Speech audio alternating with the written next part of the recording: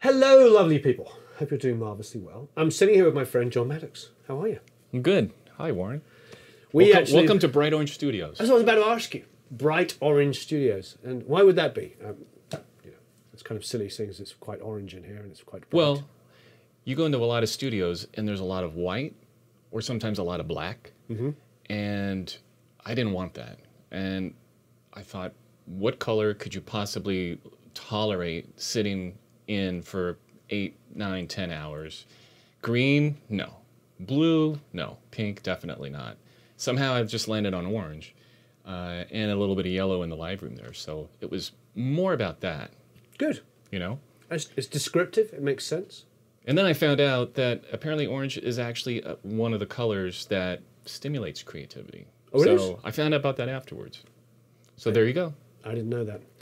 I, I was like blue and green. I think that's quite typical, isn't it? Because it's sort of earthy. Not good for creativity. No, I, if it works. If it It, works. depends if it's is it a light blue or a light green or is it a dark blue, dark green. You like how I said that? Right. All right, so Bright Orange Studios. So what I want to do is I want to do talk to you about three different things. Firstly, your journey, and secondly, I want to talk about what you're doing at the moment, Okay. Which is a combination of film and TV licensing music, I suppose presume trailers and commercials and all that good stuff. Jon, if you don't know him, is an amazing drummer and did a lot of sessions as a drummer and was in the Young Dubliners.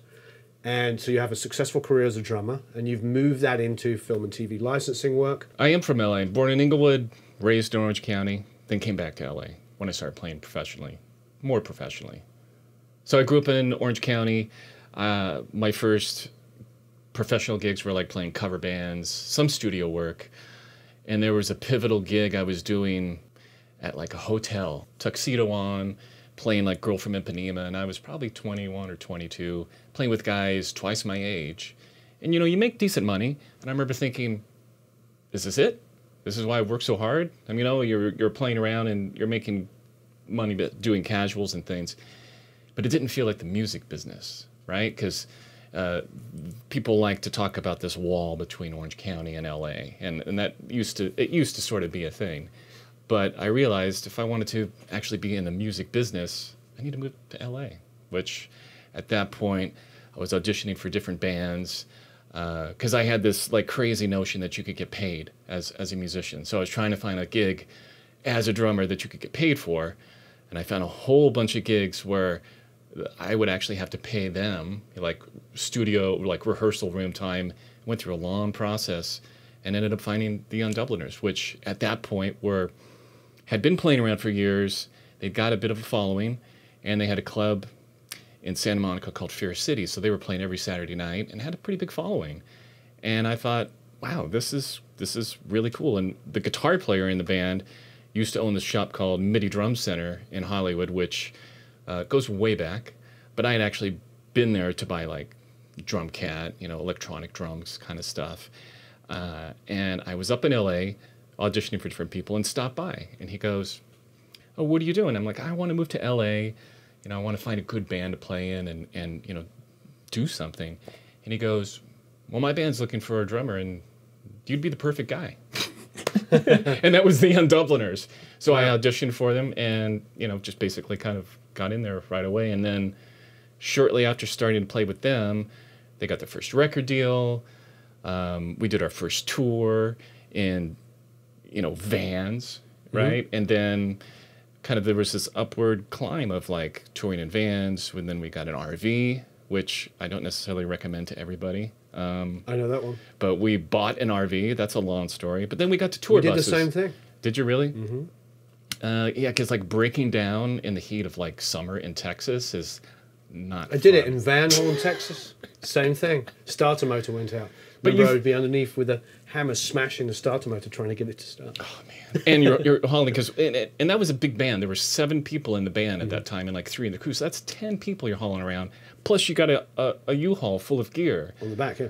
Uh, and traveling through the, I mean, that was not smart, and it was an older RV too. So, So, it's um, so but- was ours. All we could afford. So that was Mm-hmm. that was, the, but then it got into the tour bus, and then then it was like wow. And then you have a, a driver, and it's like whoa. So that was that was a fun, you know, upward journey being in that band. A couple of things. I'm going to fill in some gaps. So you're 21. You decide to move to LA. Do you have any formal drum education? Did you take lessons? I did. My father was a musician, and What did he play? he played. He was a trombone major in college. He also played drums.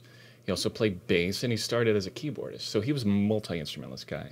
So I grew up in with a music room in the house that had piano, stand up bass, and drums. Mm-hmm. And as a kid, I was never a like wanted to be good at any drums. I just was a music lover. And I, I think that's how most people start is they just love music. And, and Yeah, I, the same way. and I loved it. And you know, because my dad was a musician, I think it was just like it. It's not that it wasn't special, but if your parents aren't into music, music is like really super special. So I kind of grew up with instruments, and his bands would rehearse, and it was just like ah, you know, something my dad happens to do. And it wasn't until like late high school when I started to like, oh, Stewart Copeland, how does he do all that stuff? And so I was self-taught at that point, just playing, figuring out, you know, how he does all those cool police licks. Because there was something about his drumming that, for me, just like pulled me in. Like there was some, something about that. Um, So exciting. and and so I you know I taught myself, but uh, when I got out of high school and started playing with other people, because I was kind of a, technically a late bloomer, I didn't jam with guys in high school. It was wasn't until college that I actually um, started playing with people. In fact, college, Orange Coast College, where I went to school, they had a program called Rock Ensemble, which was Rock actually ensemble. so you actually got college credit for playing rock music, and what they did was they paired you up with you, you kind of do an audition, right? They they, they kind of like say, okay, Warren on bass, Jon on drums, you know, Eric on guitar, and then you'd kind of go through songs, and the teachers would evaluate you, and then put you with Eric, you got the guitar gig. similar s- similar um, levels, and then you'd learn songs, you'd perform for the class, and then they had professional players that were teaching the class, and they'd critique you. So it was as funny as it might sound. It was actually it was it was good. So I met people, and it was there that uh, I saw Chad Wackerman do um, a performance because he was one of the people brought in to you know play through songs and like these how th- this is how professionals sound you know and and he was great and i just went up to him and it's like do you teach drums and he's like yeah so i started studying with chad and, wow, and, that's uh, and i'd studied with a local guy named- josie and did a little bit but actually with chad it, like he he brought me from not being able to read very well to you know going through all kinds of reading and chart reading and he would bring charts from sessions when they would do jingles back in the day so he would kind of like show me the charts. So that was as basically as formal as i guess you you could say but chad was like the first guy and then i studied with an, um, my friend roy burns who in his 20s was playing with like a lot of the swing era guys. Um, like um, benny goodman woody Oh, herman lionel hampton. But he was a kid playing with those guys. Wow, that's amazing. so he kind of turned my head, and he was like definitely like a drum mentor, but he was a lot of storytelling and how to work with people and you know things to think about as you're entering this professional world not so much about drum licks and how to play an odd time like you know as much as he we worked on like snare drum technique and things he would talk about what it was like to be a professional and the things that happen and Well, that's and, huge. and and, Yeah. and that is huge because you know that's some some those are the, the stories are some of the things you don't get in college you know you get all this technical mm-hmm. skill but when it really starts to happen is when you meet somebody that's experienced and they can say well yeah maybe that's what they did in school but this is kind of how we do it here Sure. you know and that's that was that was pretty valuable i think That's huge. Now, I, I, I, I didn't have any formal training. I didn't go to school or anything, but um, I completely relate to, I suppose, mentors, people that help set me on. Uh, you know, even just my friend Ollie, though I talk a lot about, whoever's watched me here. The thing about Ollie was he showed me stuff. He did show me stuff, but the biggest thing that he showed me was like taste. He's like, "Oh, you want to you want to have good legato? Listen to Allan Holdsworth. You want to have really expressive playing? Go listen to Jeff Beck. You want to have the world's greatest vibrato? Listen to Paul Kossoff. You want to have some great rhythm chops? Go listen to Keith Richards and John Lennon. You want to have weirdness? Robert Fripp. I mean, it was all like boom, boom, boom, boom. You want to have great right hand technique? Al Di Meola. Like you put all that together, you come, that's the, you know. so so before that were you like a chops guy at all I was just a kid. I was just a kid that was sort of like I just you know I, I had genres that I liked, not like anybody else. I love Brian May, which of course is an incredible way to start playing guitar. But he's like, okay, you like all these things. Here's the guys that are like the kings of these areas. Now go listen to them. And then, of course, near the end, when I started to get pretty good, he said, now listen to Joe Pass. Now listen to Joe Pass and go, oh, okay, I don't know anything. But you but you were open to it. I was totally open See, to it that's that's the thing that a mentor can do because is, you is, respect the mentor. is left to your own devices, Yeah. whether it's Stewart Copeland or Yngwie Malmsteen or whomever, Mm-hmm. you might get blindsided by technique because Sure. you want to be like that guy and wow, he's successful, so I could play just like him. Mm-hmm. But you, the, the, the whole the, the whole thing that happens is uh, a mentor can show you like the real world, Mm-hmm. and if you're open to it. They can show you like check out Ringo Starr or check out you know Charlie Watts. Well, I think it- it's probably different for different people, but for me, I was open to it because Ollie picked up an acoustic guitar or plugged into an amp, and he just was a blindingly incredible player that had all of these things the right hand technique, the legato, the feel, and all this stuff. He was what I wanted to be. So it was very like Chad Wackerman. I mean, obviously, the guy's an incredible musician. So it inspires. You're like, okay, you know what? I'm just going to shut the whatever up and listen to this guy. And if he tells me I should think about this seriously, I'm going to trust him because you know. So i think that that's it's difficult because it's like with youtube and online training it's like there's a lot of online stuff there but i go to people where i like well i want your career.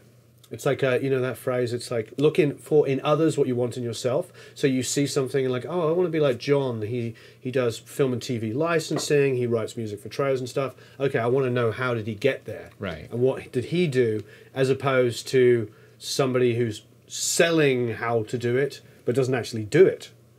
Right, and there might be value in that, but um, yeah i mean there's, there's, that's that's what schools are for i think. Right, but you see what i love about the school experience that you just explained is it wasn't so much you know necessary. I didn't hear you talk about any specific teaching thing but what i did hear you talk about is how you got a sense of community where you were pulled together with people and other musicians. And i think that that's another thing i love about what we get to do on youtube and stuff is we get to have people interacting and i see people commenting with each other and i see you know i'm blessed to have this academy and so i get people like inside of that making music together and recording and producing we're all in this world together, Mm-hmm. and so this whole idea of yes, it is a, com- a competition, it's a competitive business, Mm-hmm. but that doesn't mean you can't be friends with people and and share Mm-hmm. Absolutely. and, and encourage each other because I want to stay inspired. I get inspired by people. I get inspired by your videos. It's like to to keep that going. thank you how much do i owe you did you take cash no.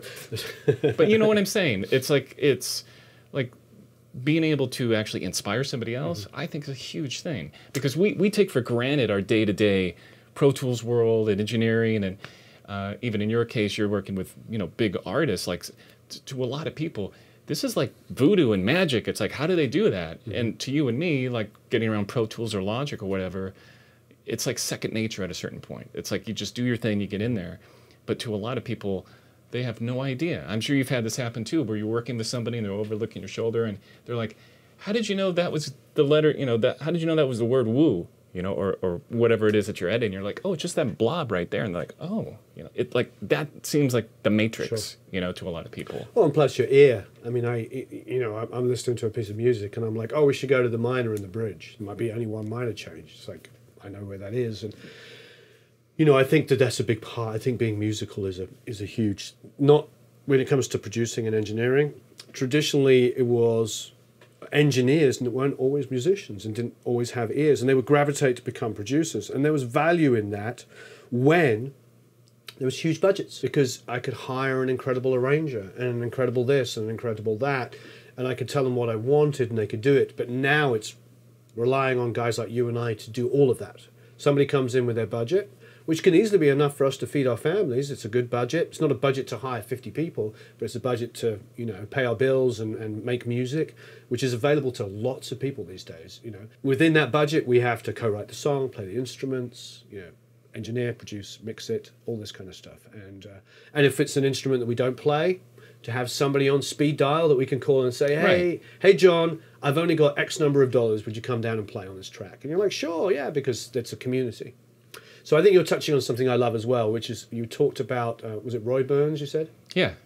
you talked about him and you talked about like how he taught you how to integrate you didn't say that word but that's what i got like integrate and work with others and i think that's a big big skill because i see a lot I'll get off my high horse for a second, but I see a lot of videos talking about technical, but there's not enough talk about like you work with the people you like Right.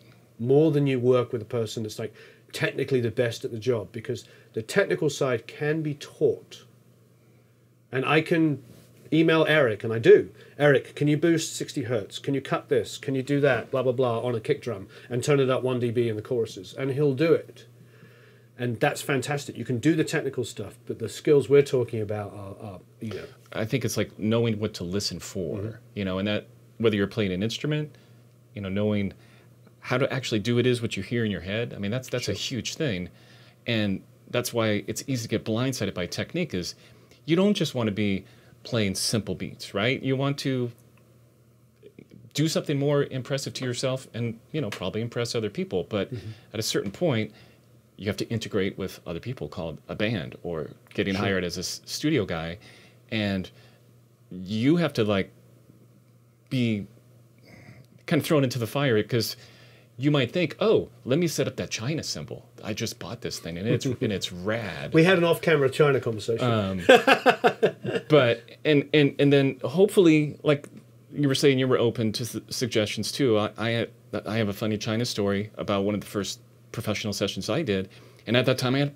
freaking china cymbal and i thought it was the coolest thing. And i was setting up and the producer says you don't need to set that up. It's not that kind of a song and part of me at that moment was like no wait a minute this is part of my sound you know i'm thinking to myself but then i was like wait a minute this is i'm getting paid for this let me just take it down put up a crash and it was it was fine it was it was all good um, but yeah china cymbals can be not your friend in the recording studio for sure but just being open to that though that's Sure. that's the whole point is Well, you arrive you- at your arsenal. If you're if you're hired as a session drummer, you want to you want to arrive at the ninety nine percent of the time this kit does the job.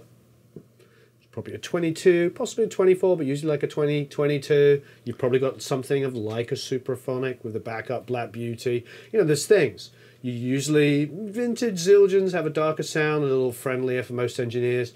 So, I'm not going to mention other makes, but there's some that are too aggressive and too bright. You might get to the room, it's a little bright, and suddenly, oh schnizzle! I wish I bought my darker cymbals because this room's so bright. You know, but you might have the bright cymbals sitting in the back. You're going to have two or three versions of a snare, and maybe you have a 26 thrown in the back of the uh, the back of the, the the car because the guy goes, "Oh, I want that big bottom sound." You're like, "Aha!" And you, maybe you brought a cocktail kit as well. Who knows? Depending on the session, but that's well hopefully you've had a conversation Yeah. before so you don't have to bring But I think truck- even if you of have a conversation, I think if you bought your 22 standard kit with something like a supraphonic, the cymbals we're talking about, and a couple of snare variations, like a trashy old Rogers snare or something, something that's got character got character, you know, because that's that's true of a guitar player, isn't Right. it? Guitar player, Tele, Strat, Les Paul, a couple of decent acoustics. Maybe once out of a thousand times you get asked to play classical. But again, you'd probably be hired on that pretense. Somebody would call you up and go, We're doing a little jazz date, so I want you to bring a cocktail kit. right That would be very specific, but yeah.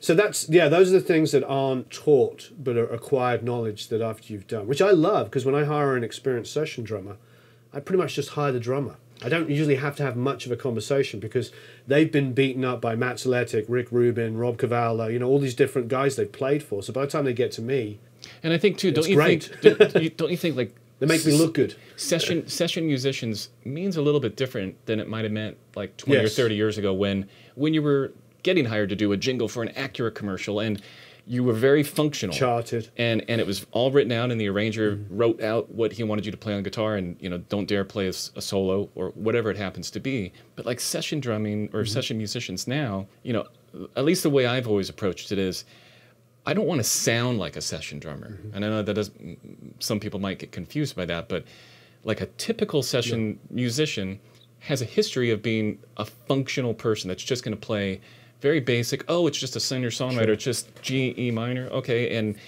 you you kind of dial in the parts. You know, you, you phone in the parts, and I don't want to be that guy. No, I love where you're going because you're, you're hitting on something that I get asked all the time, and I have to tell people when they, they ask me about can I come and play with you, and I can do this and do that, and they talk about their education, and I always go to this, and I think you're nailing this is like I need a guide. The great players sound like they're in the band. That's where I was going with it. Mm-hmm. But sounding like you've been in the band for like five or ten years. Like, okay, I'm playing with the songwriter. If I was playing this song for five, ten years, what would I be playing? Not just like, oh, Mm-hmm. Not here's a part that fits. you know, That's really and- cool. And Yeah. uh, you know, part of that comes with experience, but I also think when you start writing music and you start understanding how music is put together and how parts work, and especially if you're fortunate to be a producer and work with people, like that all informs what you do as a session musician in ways a guy fresh out of college or you know fresh out of high school or something they're still like in technique land going oh i think this sounds right. Can i play these like flamadiddle things that i just you know have been pr- practicing all morning? It's like that stuff won't fly. And, Right. and, and then you see the guys any one of our heroes uh, i had lee sklar in here um, at one point for, for a session and i was all excited because uh, like billy cobham's uh, spectrum is like a great a great album and Leland's he- such a straight ahead, normal. and he was guy. so mellow Yeah. and he actually took some direction, you know, and, and was Mm-hmm. just like super nice. And guys that have been around and have that kind of experience typically tend to be like Lee Sklar. Yeah, Lee, Sean Hurley, very similar kind of players that they play the song immediately. Like, And there's no ego. Yeah, there's no and, ego. and these are the guys that could actually, they could, they, they could stretch they- their wings and do anything. well, but they, they, they could have the ego. Yeah. Like they deserve to have an ego, but they are ego less. And, Yeah. and there's something to be learned from that, I think. It's funny. Um, just completely just because you because you went on this. This is interesting. I just did a session with David Foster, and David wanted a bass player for it, so I called Sean Hurley. And David, in real time, played the song back. He played the piano on it, and he wrote that for Sean by ear. Wow. So when Sean turned up, he was in and out in 20 minutes. I mean, he literally turned up to the studio. I had the bass amp set up. I played bass, got it, set it up. And he turned up and met everybody, shook hands. And 20 minutes later, he left. We'll get a still of that. Oh. But David, no, but yeah, it's fine. Da- David wrote that in, in real time. I think he went back and I think you see rubbed out one thing maybe somewhere. Right. Just double checked it. So firstly, he, David Foster is obviously an incredible talent, but That's his skill set, you know? a skill set. Um, but what was interesting is you might say, well, you know, Sean Hurley is an incredible musician. And often I just hire him, not often, pretty much most of the time I hire him just to play the right, right thing and I don't have to think too much about it. But he's also a player that's educated enough that can take the direction and play the part. When I say it was in and out in 20 minutes, it was two takes. Wow. So 20 minutes is the time it takes to say hello and meet everybody who's in the room, plug in. We set the compression differently because I play differently to he does, of course, get it set right. Right. He plays it down once, he reads it, says to David, what's this? Oh yeah, I should have done a blah blah blah. Punch do you know, do one more take, punch in for a fix and bye bye. And but the lesson for that is he could have played his own part and it would have been just as amazing. But David had a, a thing in mind, so I think you know being able to move between be those two different people is, is, is a massive thing. So I do I don't read very well, and luckily guitar players don't get asked to read that often, Right. as often as drummers in particular, and then bass players, etc. But definitely drummers. You you guys, not all the time, but you are, you get it a lot more than we do. Yeah. Um, or, you know, um, and if you don't, you just write a little cheat sheet arrangement Yeah. chart, you know, something like that.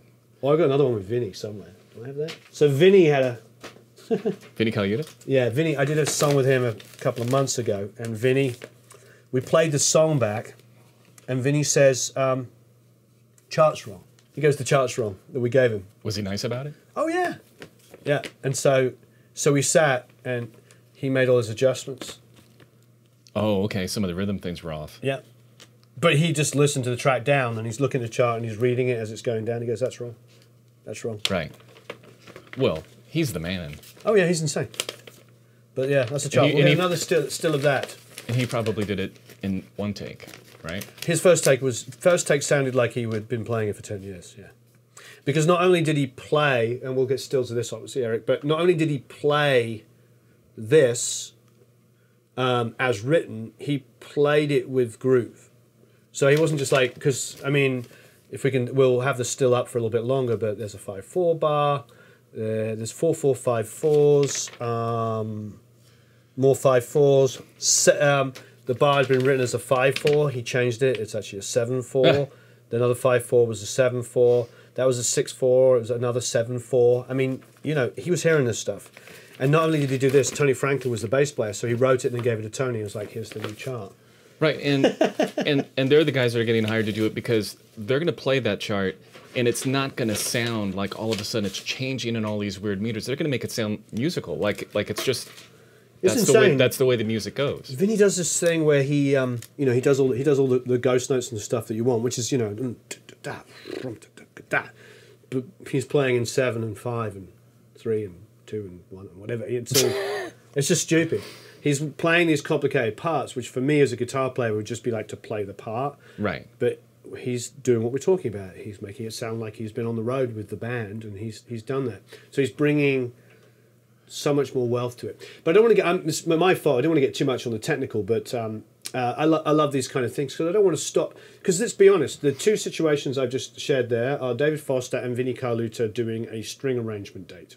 I do those about once every six years. Okay. I've worked with Vinny a bunch of times, but the last time I had hired Vinny, it was to play a blues track. And it, it was because it was a present for my friend Ollie. And he had introduced me to all of his great musicians. So I wanted to do a track for him to play on that had Vinny Colaiuta on it, Right. who was Jeff Beck's drummer, of course. And he introduced me to Jeff Beck. So it was my present back to him. I had Dan Rothchild playing bass and Tim Pierce playing all the rhythm guitar. So I got like the, these great musicians so that he could then solo and sing over, and uh, it was it was a present back to him for, for for being such a great mentor. That's most of the time. If I was hiring Vinny, it would it, it, obviously when you do the crazy ones, he's the guy to hire, but he's also a guy you hire when you don't do crazy. Right. I mean, you would say most of your, a lot of your work is like singer songwriters and bands, because that's been my experience here too. Is Yeah. is uh, I've definitely worked with a lot of songwriters and some bands that have never been in a studio before, Sure. and that's.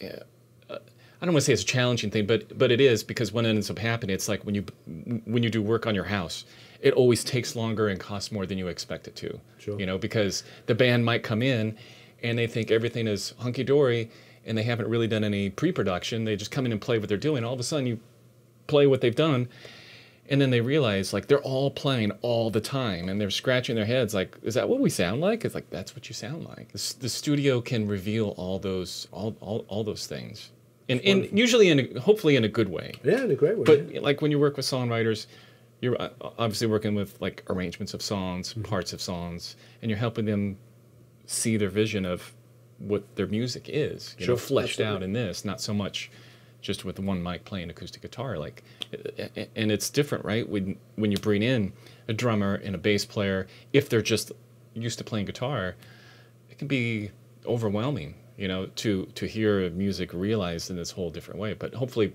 pre-production, you know, you can do a fair amount of sketching out of what it's going to sound like. right. My studio mentor is a guy named Matt Forger. Hello, Matt Forger, and um, you should know him. Everybody's heard him because he worked with Quincy Jones and Michael Jackson. Like he did, he worked on Thriller and Bad and Dangerous, and like ten years of his career was in that world as an engineer and uh, a technical advisor, and did all kinds of crazy things. But he and I became friends and started to work on projects together. And so when I was building the studio, he actually helped with des- design because he specializes in acoustics. Um, he also specializes in, in gear. Like, you know, my career went from being a drummer that shows up for a session with my drums.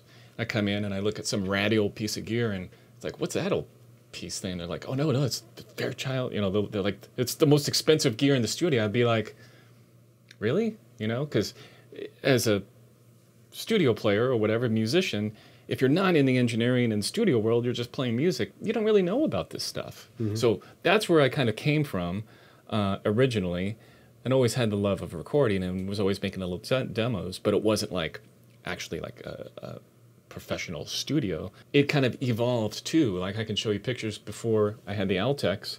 You know, I just had the um, the events, and in the live room, originally there was no uh, sound treatment panels. It was just kind of a room. So it kind of evolved over over Sure. time. My old drum room uh, went, you know, when I used to have that big blue drum room over at Swing House, Oh yeah, right. just threw I up. recorded. That's where we recorded. Right. yeah, I threw up panels and randomly, and oh, sounds good. Stop. Right.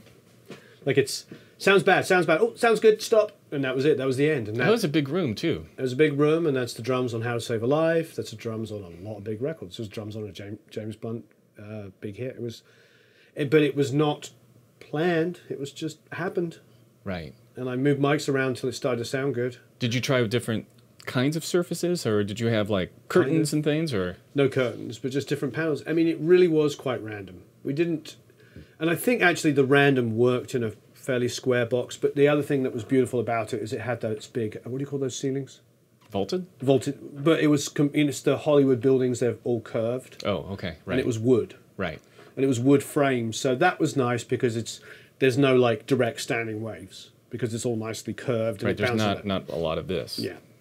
So that that was purely accidental, but high curved ceiling, wooden, um, and so many random surfaces that we it didn't really seem to have any standing wave issues. So, um, but totally accidental, no planning. Um, you know, trial and error and and luck. You know, I would say luck. I don't believe in luck as specifically because you have, we had to do a lot of work to get it to be to be lucky. But using your ears to a point where you're like, oh, it sounds good, stop. Exactly. Probably could have got better if I knew what I was doing. But Well, but there's this thing, right? This point of diminishing returns, whether it's talking about what you're talking about, like, okay, maybe there's a better mic position, you Sure. know, but this one sounds really good. right. Depending on your time and budget money, which you're usually not very big, just go with it. But part of you wants to th- think, well, what if I just try it over here? And it's just like if you're Sure. like doing production and you're checking out like organ sounds or something, Right. and you're like, wow, I can get a better organ sound. Three hours later, you end up going back to the one you started with. Right. And I think that that's a huge thing, whether, Yeah, you're, whether you're talking about engineering or producing uh, or even mixing too. It's just like, listen to your instincts because they're, they're usually right. Like there was a reason you just happened to put that mic right there and you checked it out and you went, that sounds good. Great. L- go with it. I mean, isn't that the thing too? I mean, I'm sure it's been talked about because we have infinite options and because you can do infinite takes and you can just pile up, Right. you know, track after track. It's like remembering that mentality of like Sergeant Pepper was four tracks. Mm-hmm. Like commit. There's nothing wrong with committing and just move on. Right. Those two four track machines linked together. Yeah. They. Well, But- right. but yeah, lim- completely limited amount of tracks. I only say that because we get lots of people saying no, it wasn't. Well, I mean the the the four track that Yeah, the, no, the you know it's been that's been gone you know like bounce the, the rhythm section to one the other one has the oh yeah, the bass vocals. and tambourine on the same track. Right. One's boom, and one's stuff like that, and all the effects bounced on the vocals. Yeah. So when you brought See, the they committed, yeah. right? Yeah. There's something to be said for that. There's definitely something to be said for you know necessity is the mother of invention. Um, when you're forced into, uh, it's interesting because I imagine you're a jazz player in 1966 or 67, you're going to be going, look at these new kids, the Beatles with their multi-track recording. Oh, they hated them. Yeah. So now you're going to be. We could be these sort of stick in the mud guys that grew up making records on tape. Oh, look at you kids with your with your DAW. We just have to be mindful of the benefits of different ways, restricting ourselves and having unlimited and knowing what all of those benefits are and just using them to the best of our ability. I mean, I love being able to build a lot of tracks as long as a vision. I, I won't have 25 competing backgrounds, but it's great to be, have 25 tracks of backgrounds that maybe gets bussed to a stereo pair, and I commit to that because I can create all of that stuff. You know, think of a Not in Love. Right. You know, of all of those uh, notes all playing at the same time, and how many they layered and bounced. Well, each one was 16, I believe. I think each. So Right, because they, they, they, they recorded and looped every note on, for an octave, I believe it was. Yeah. And then they performed the song by playing back the multi track and moving up the faders Mm-hmm. to, to make the chords. I mean, that's a really good documentary. Well, it's not actually a documentary, it's like an interview with them. Yeah, that people then put the, fo- the footage, but it's great. So there, there's an amazing idea. So we got the DAW, we've got these tracks, we've got this stuff. Now, now think about Bjork did an album a few years ago, all in voices. That was pretty amazing. Enough of my waffling on as usual. Um, let's. Uh, so you've got. How are you recording drums in here? Well, got um, a set of API mic trees. Couple of things. I mean, Sure. what, are, you- what are you using on the drums? I've got four channels of API over here. I I have another two channels of API over here. There's uh, A2D over here, Right. uh, which for usually for drum, drums, um, bass, things like that. And then this is a, a kind of a rare UA model that they made right around the time I was doing the studio. It's four channels that uh, you can switch on and off the transformer. It's not tube, but uh, this is really good for like super clean things like cymbals, acoustic guitars, oh, great. that that sort of thing. So those those are the main. How many mics are you using on the drums? We'll go and look at the drums, obviously, but um, It, typically. it depends on the track, but anywhere from like say seven to twelve, maybe. right. I mean, it depends, because I do want to commit. So sometimes it'll be more of a, a roomy kind of sound, and other thing, other times if you want that woofy sound, like we were talking about the Motown thing, you don't even have any room mics. You're just doing close mics with compression, that sort of thing. So it kind of depends. Great. And then what's the Orban stuff? The par- parametric EQ. Oh yeah, the the right. So uh, if I need to patch this in, it, I think I actually did for kick drum. Right, these are two kind of classic Orban EQs that I'll track with, um, Right. and then I've got some uh, pair of the DBX compressors here. Using that on the kicks. Yeah, like kick and snare. Great. I mean, again, I don't have necessarily a formula of, of No, exactly what it is, Right. but I, I look at these things as, as tools to help kind of dial in the sound. Because Right. I've done a lot of things where drums, the drums I'm playing, are sometimes the last element, or maybe you're Right. you know you're replacing, but you're that not. happens a lot. But you're not starting from scratch because that's that's actually kind of harder if you don't know what the final sound is going to be of the track. Sure. But if everything's kind of done beforehand and you're just putting like you're replacing the drum You're machine getting a lot of that. You know, recording drums for yourself. People are sending you two tracks and going, put the drums on it. Right. And that to me is a lot more fun because then you can, you know, literally dial in and, and make it work. Uh, as opposed to sometimes guessing. And sometimes you don't have to have room sounds if they're going for, you know, more of a classic like Steve Gadd 70s ish kind of sound or something like that. The Bellari. Mm-hmm. There's two things there. There's a there's a dual mic pre. Yeah, and there's an old uh, compressor too that works pretty that works pretty well. Uh, and this is a mastering compressor, the Charter Oak. So um, you know, one thing we haven't really talked about, I know you've talked about it on other uh, episodes, is um, out of the box mixing. Right. So I have do, done that, and that's what this guy down here is the Fulcrum. Are you familiar with it? Yeah. I'm sure you are. So, uh, like a typical out of the box would be pairs of stereo outs from the, the Apogees Yep. into the Fulcrum, and then into usually like the API for like makeup gain.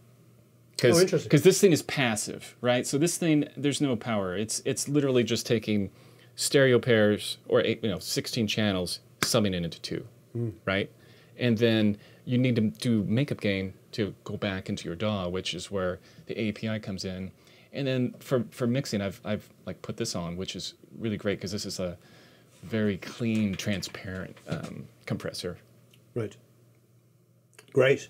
And do you find you, you like the benefit of coming out and hitting another pair of transformers, etc.? Does that give you I've, you know, what's funny is I, I did a mix for a composer friend of mine who did an all in the box instruments. It was all virtual instruments, like virtual orchestra.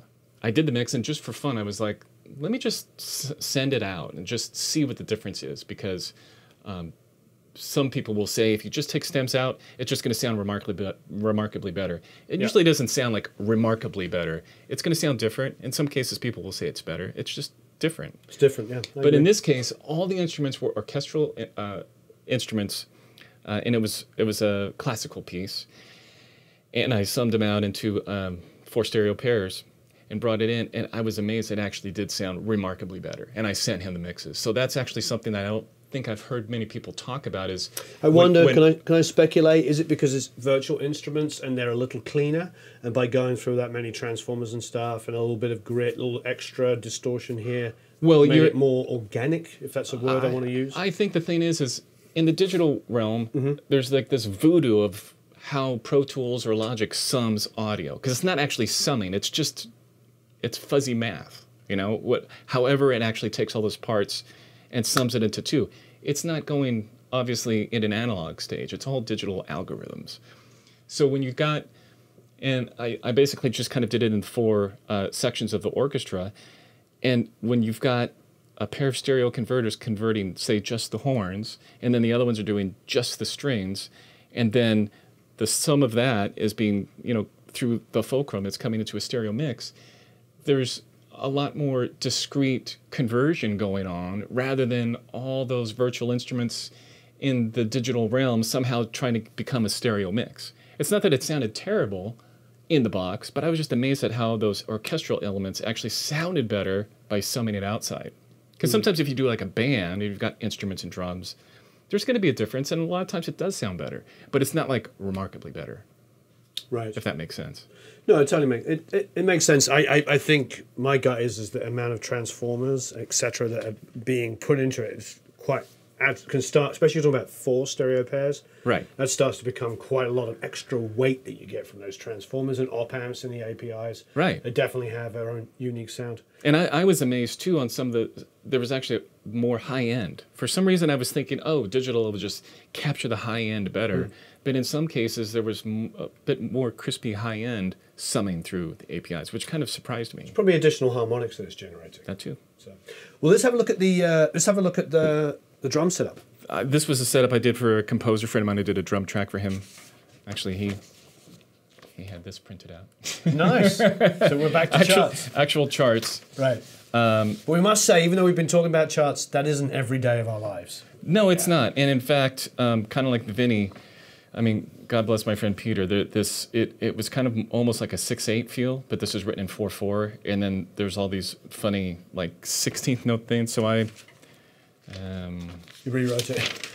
I just re- rewrote it in my own little shorthand shorthand language. Anyway, I had an engineer that worked for me up until a lot up until recently, who uh, I'd say to him, "Can you clean up this drum track a little bit?" I'd come back and he'd always take six eights and put them in four four. I'd be like, "That was uh, interesting." Oh, how's that a five four six? uh, Unidyne three is Yeah. that what it's called? I, I know it as a Unidyne three. Oh yeah, I don't know if it's the same, but basically this, th these are what we were talking about with the Van Halen session. Really? Yeah. So this was actually a vocal mic. In fact, my da- my dad actually used to use this on his gigs playing in bands in the in the seventies. So the way you've got it set up here, you've got you don't have a bottom snare mic. I don't. Is that typical? That's not typical. Oh, okay. But for this, it was it was fine.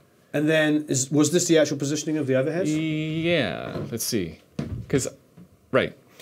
Um, so they equal distance to the center. Exactly. I'll, I'll basically just kind of measure Yeah. Um, because I like the snare to be kind of in, in the center. Yeah, and, me and too. Because right, there's different methods. People will just do like kind of stereo overhead miking. And some people do. The Which I think is okay if you're going to EQ the uh, all the lows and low mids out of it. All you get is pss, pss, pss. you can you can get away with kind of miking the cymbals. Right. But if you want a natural overhead sound, you have to be in phase. Right. Yeah. Exactly. So yeah, there was one on there, no hi hat mic, uh, because a good amount, at least for this track, was kind of coming from the overheads. Now with this the beta down there, that's the only kick mic, so you've just got it catching the air. Yeah, Great. you know, and th- these are those things too. Like you know, you move it like two inches, it's actually going to sound terrible. So it's like mic placement is critical. I shouldn't say terrible. It's going to sound different Different. Right? Not what Um, want. Yeah. because that's the thing, right? With mic placement, you don't know until you actually like listen to it and go, oh, that actually works. Like you with the room sound. Now these are these the Latvian ones? They are. Uh, what are they called? They're called JZ mics. Jay Z. That's it. Uh huh. These are killer mics, and they have um, they they they have a character sound to them. You know, they're not like um, you wouldn't use them as a reference microphone, but they do tend to be a little brighter, but not in that like Chinese cheap bright mic Right. kind of thing. Right. They just sound good, and Good. I've I'll sometimes use those on uh, toms too.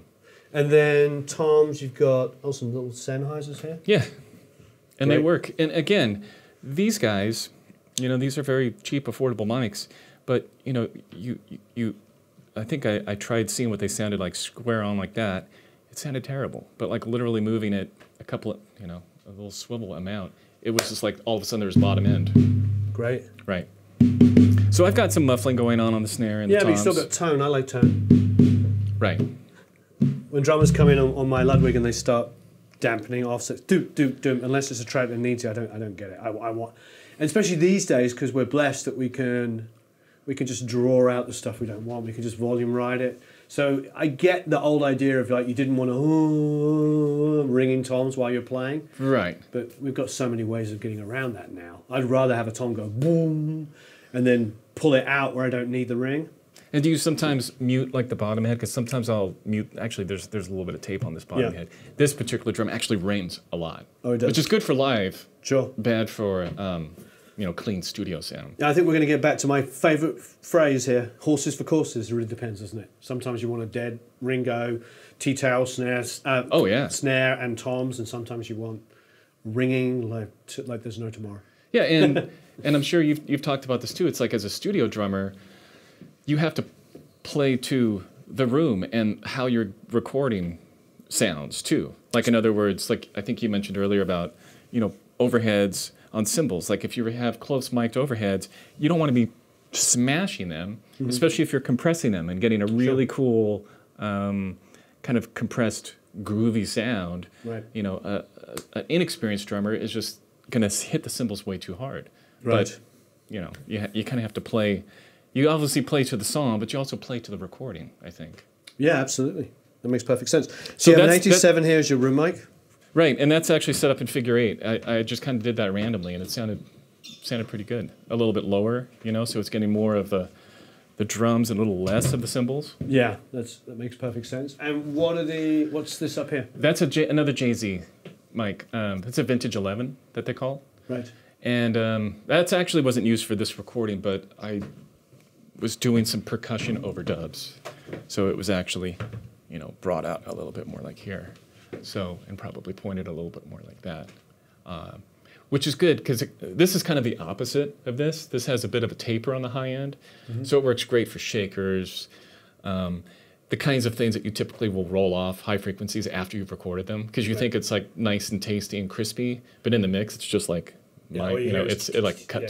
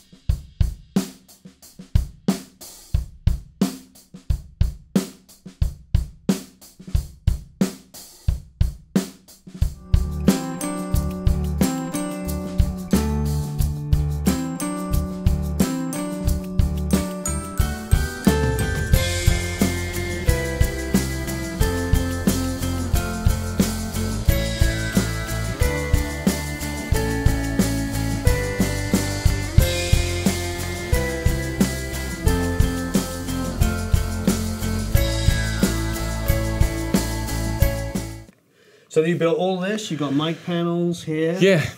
Great. So, and all the orange cable, believe it or not, were handmade by myself. Because when I was actually doing the studio, and it's expensive, I thought about, or I researched how much it was going to cost to buy mic cables, because you need mic cables, right? Mm-hmm. Um, so I basically just took out my old like soldering skills from high school electronics. I don't have any soldering skills. really. I've soldered, but I wouldn't call them skills. well, they were a little You're bit. ahead of me. They were a little bit latent, but so all the orange cables are actually handmade. Great. So, and, you and Simon Phillips. Simon made all his cables. Oh, well. really? Yeah, he's crazy like that. He did build all his own patch bays, and yeah, must be a drummer thing. well, we throw ourselves into it, you know. Yeah, we're gonna get. You have to get some good stills of the live room here. Yeah, well, this is, um, you know, one of the things that I, I like um, doing is, is my own sampling. So the, literally, this piano was tossed out on the corner of my street. In fact, my neighbor texted me. He's like, "Dude, there's a piano on the corner." So I walked over, and literally, this piano was just like thrown on the side, like like an old television set. So I got another neighbor of mine to come in and pull it in. This thing has been completely weathered. It's not really functional as a proper piano, but what it's going to be great for. So a lot of my work in sound design for mm-hmm. some of the film and TV stuff is making my own sounds. So this is actually going to be like completely multi-sampled, and I'm going to Right. drag it into the middle here and basically kind of tear it apart. Fantastic. Oh, I like that. All right, talking of film and TV, let's go and talk some bit, a bit about that. Give us your experiences in that. It's one of the good things about getting older is people do take you more seriously. You think so? Oh yes, Even in our business? yes, definitely. Well, when it comes to working with artists, I'm not talking about like you know the hips the hips the hip A and R guy who's 25 years old who feels threatened by you because you can run around circles around him. That's going always going to be difficult because with the mm, younger Right. A and R guys, it's like they have no idea what they're doing. They have a Rolodex maybe, and they So ageism doesn't concern you. no, not not in what we do. Not at all. That's good. So why do people get so obsessed with it? People people do, you know. Well, because I think it exists if you if you- if you're going to compete in a world where it's relevant. So don't compete in the world where it's relevant. Don't- You know what I mean? It's a- it's a bit like a girl. We, we can we can sort of come on to sort maybe on camera. This is a bit of a contentious one, but it's like if, if a young artist comes to you. No, if a 27 year old girl comes to you, not old at all, a normal age, completely could be successful. Sheryl Crow didn't get so successful; she was like 34. So 27 year old girl comes up to you and is a great singer songwriter and wants to do Britney Spears pop. You're like, you're like, you're too old to do that. Like, you mean I'm only 27? It's like, yeah, but everybody that's doing that has a Disney show, has they can do that super clean, ultra pop. You know, it's, it's forgivable when you're 13, 14, 15, 16, but at 27, you need to have matured somewhat. So that's a sort of a weird ageism. It's just like it's got to be appropriate, you know. But if a, if if somebody if somebody who's super young wants to do an older sounding thing, then you you've got to also help them be like, well, yeah, but you're 17. If you're going to do Black Sabbath, that's great, but it's got to be like Royal Blood's version of Black Sabbath. It's got to be edgy and youthful. If you do it authentic, you're just going to sound out of touch. Right. You know, so there that's where our job comes in. It's like how do we how do we best help our artists, you know? Right, and help create them to be the best version of them. Yeah. You know. But you see, I, in what we do, I see so many people. They come to me and they've already spent a lot of money with different people, and they'll play me some stuff, and it sonically might be really, really good. Sometimes it's, it sounds fantastic, but it's it's it. They'll find somebody who'll just take their money and do what they want to do, as opposed to helping them.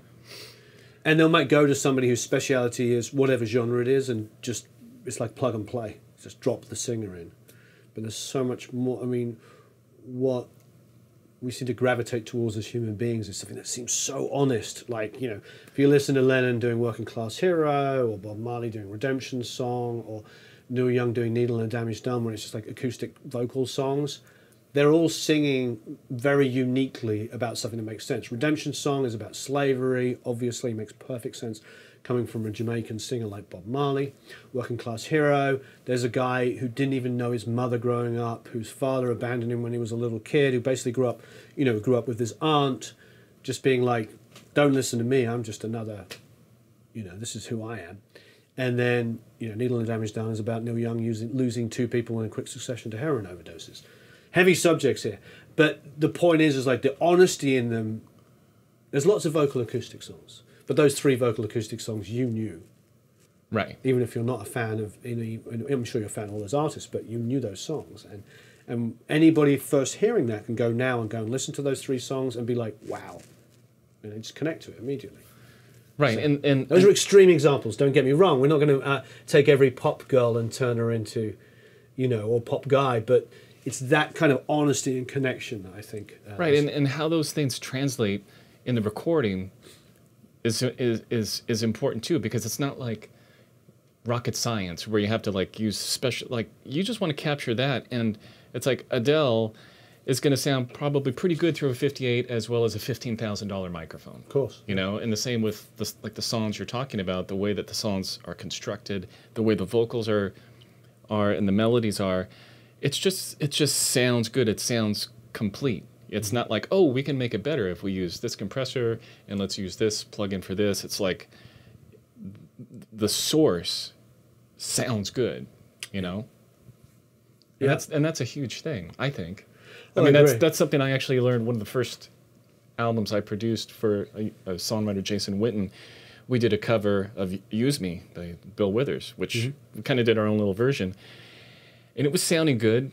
And I somehow was thoughtful enough to go to the original recording, you know, because I was just getting into this is the first album I had co-produced with a friend of mine, Sebastian Sheehan. We were two drummers producing this guy. It was it was a lot of fun, but we were There's a kind of joke in there somewhere. yeah, there is a joke. um, uh, and it was trial by fire. You know, we were trying to, you know, we were, we're figuring things out as we went.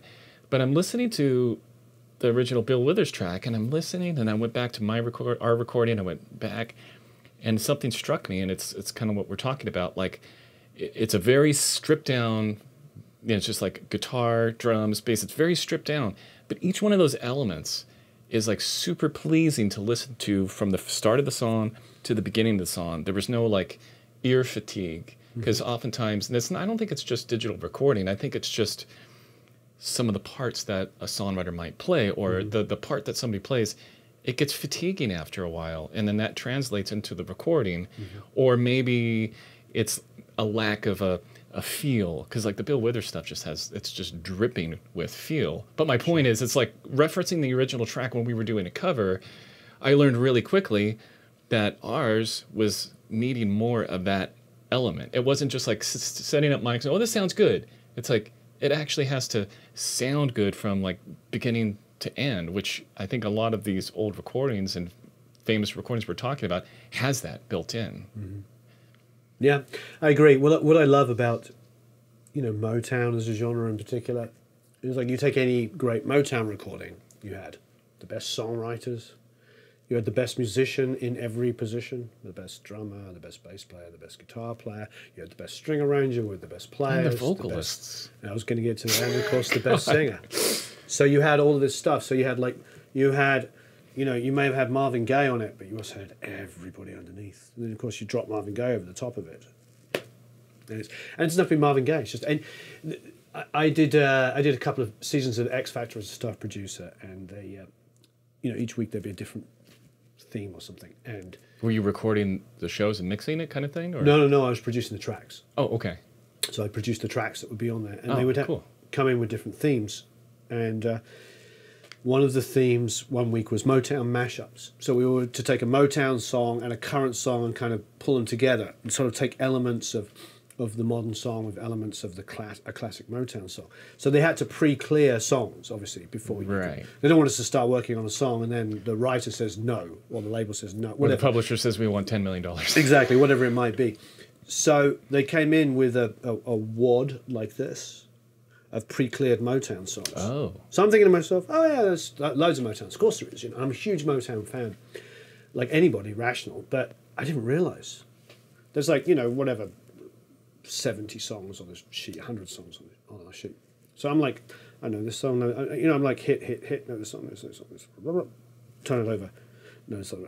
And I just kept turning it over, and I'm just like, in my I just didn't realize subconsciously whatever it is uh, there there was like several hundred songs like in the high hundreds of songs and I don't think there was a song I didn't know because it goes so deep it's all that Stevie Wonder which you forget it's all that Lionel Richie and Commodores you forget you think Motown you think Temptations you think of all that kind of Staxy Atlantic Motown period of the 60s and late 50s but you don't realize it went all the way through the 70s Oh, yeah, in the 80s. in the 80s and it's just you know it's the pop of like Lionel Richie and Commodores all the way back to all of the great it's Like just covers like Brick so House.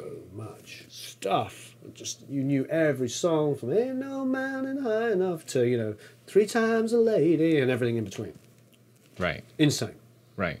and you put it on and, and you listen to every song and you're like best musicians So did you mash it up then with like a more modern kind yeah, of don't, I don't even remember where we ended up. I was so overwhelmed with that stuff, but uh, yeah, it's it's great. And I like I Motown is very inspiring to listen to on so many levels, production and um, performance, and great. So look, I'm waffling on. I want to know where you're doing very well in film and TV licensing. Right?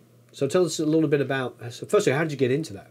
Uh, well, a friend of mine who was recently into a music licensing company back in 2005, uh, that we were, we were actually in a band together, he called me and wanted to know if I had any kind of like drum centric music.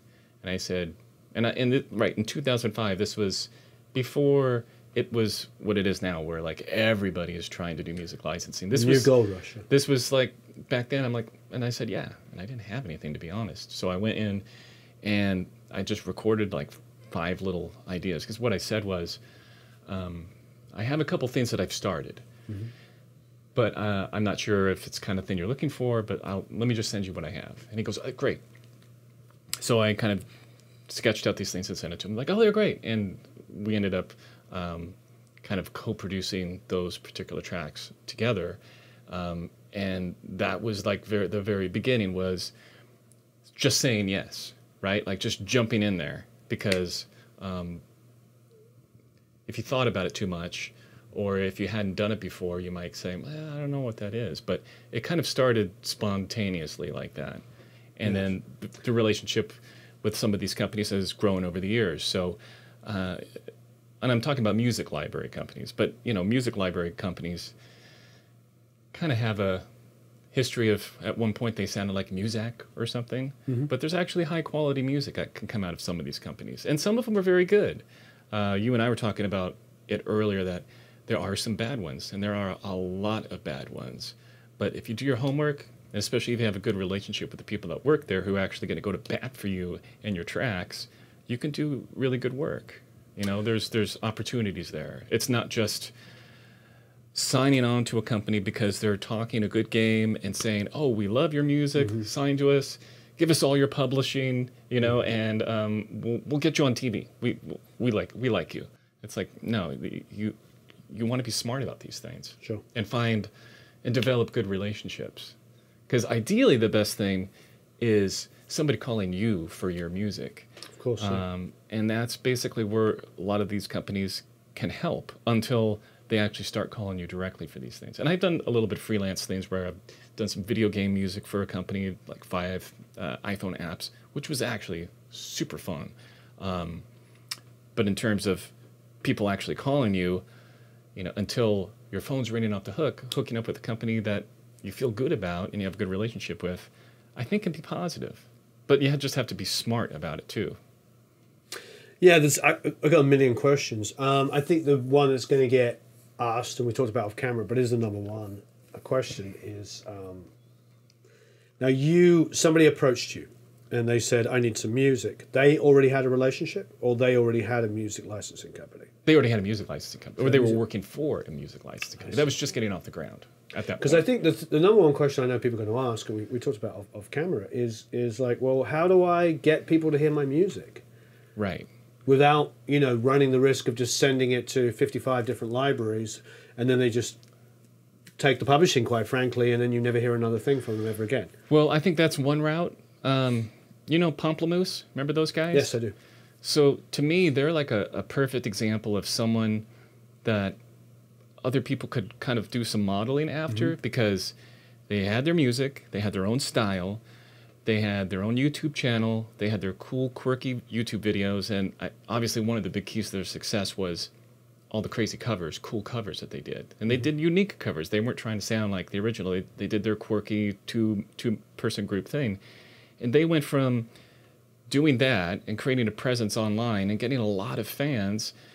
Uh, and then next thing I know, I remember seeing them on like a Target commercial.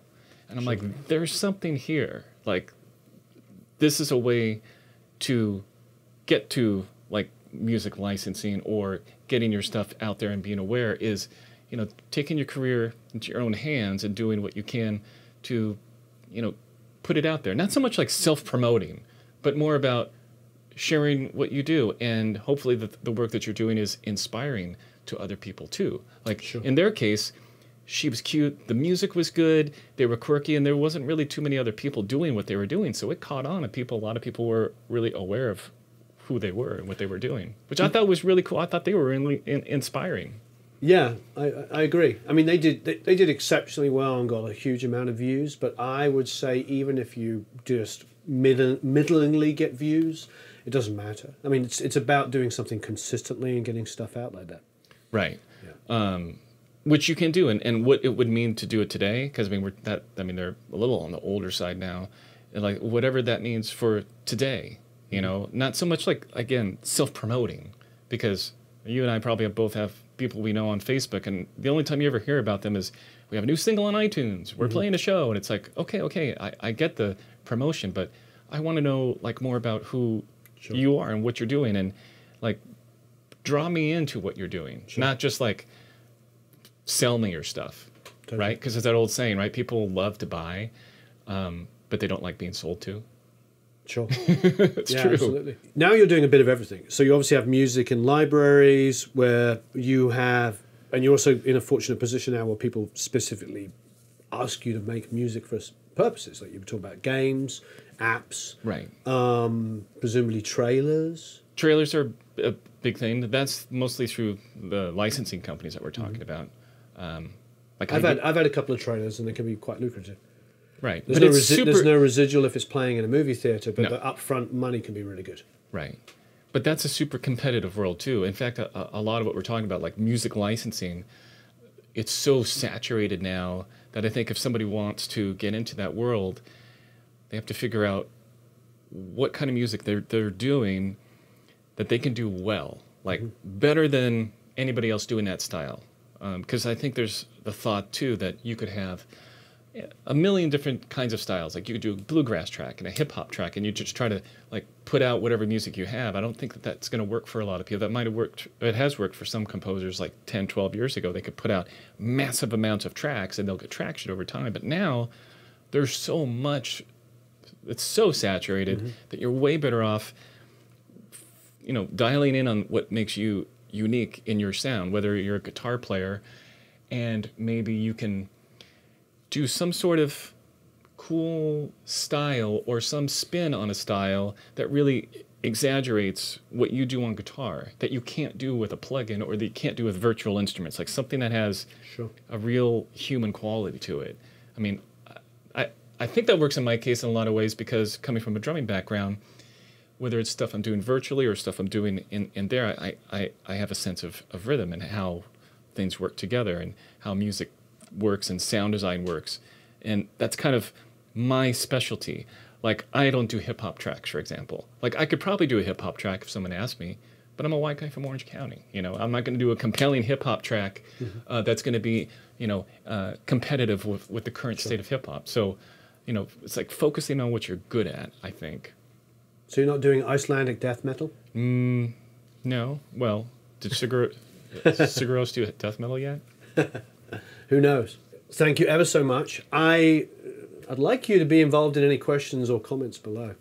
okay Okay. Do you know? So I throw you under the bus on camera because there's probably going to be some licensing questions, and um, you know, neither of us are, are authorities, but that's kind of what I like. I like non-experts. I like people that are actually doing it because the experts don't usually actually work in the field, there, but they know all the right things. This is and they, and they will about- talk a good game and they'll talk a good game. What I like about what we get to do for a living, and we get to make music and record and work with artists, and you're, you know, you're more successful in film and TV licensing than I am. I've had lots of stuff, but I don't concentrate on that. Where I know from your Facebook feed, strangely enough, I see you do, working on a lot of stuff. Being in the trenches and understanding this to me is is a big deal because, as you're saying, as you just explained, i everything is evolving and changing and shifting. And like I was saying earlier on, it's kind of the great gold rush. I get hit all the time with film and TV licensing questions, and everybody's trying to do it, and it's very saturated. However, if you do it smart, there's lots of opportunities. right But the the biggest thing we like we were talking about is it, people make mistakes where they give away their music too easily. Um, and I don't want to be negative about certain companies or certain people, but it doesn't take too much research to find out whether something is legitimate or not. Is that correct? Well, yeah, and and there's this I would call unfortunate standard with a lot of these companies that think that they should take half of your publishing, which is kind of the standard. Right. Like if somebody calls you and directly, there's like you're 100%. But when you work with these licensing companies, it's standard thing is to split publishing, mm-hmm. you know, split the copyright, which means you know, if you are a songwriter and you've got like heartfelt songs, you know, you're not just doing music for that thing. If, if, if you're an artist out there and one of these companies comes to you and says, you know, we love your music, sign, sign our agreement, we'll, we'll get you on film and TV, a lot of times they don't realize what publishing even means. So they'll sign and all of a sudden, like half of their song now is co-owned by some company and maybe they're going to do something or maybe they're going to not. But I find, having seen so many deals, 50 50 is a more favorable deal now. As you know, most, a lot, a huge amount of companies want 100% of the publishing. Hundred percent. See, that's just That's just not right. I mean, and it's I think it's a thing if if more people will stand up and say this is unacceptable, then hopefully that'll go by the wayside because you know it's like in my world of, of composing um, a, a lot of young composers will will do gigs for free you know they'll Sure. they'll, they'll try to work on a film completely Yeah. for free They're getting the name out there. They're and there's to- nothing wrong with that but the problem is is when the people try take advantage of that and then some at some point that becomes like acceptable like it is one thing if you're younger and you're trying to break in that's fine but you know there's a lot of um, opportunities out there that you know come score my independent film no budget you know and Sure. in one case recently i saw somebody was actually asking the composer to pay $5000 into the, the the fund of the film and i'm like wow that's that's that's go- that's going to a whole different level Sure. Yes. Well, as- it can be a minefield out there, but let's uh, let's see if we can help educate people and help people. And, and uh, being, once again, being smart being smart. Thank you ever so much for for taking the time and uh, showing me. I, I love it. Love your journey. I love the story. So please, as ever, leave a bunch of comments and questions below. I'll throw Jon under the bus and make him answer them. i'm ready i'm ready Okay, i'll share good. whatever i know Okay, marvelous. Have a marvelous time recording and mixing. Thanks very much. thank you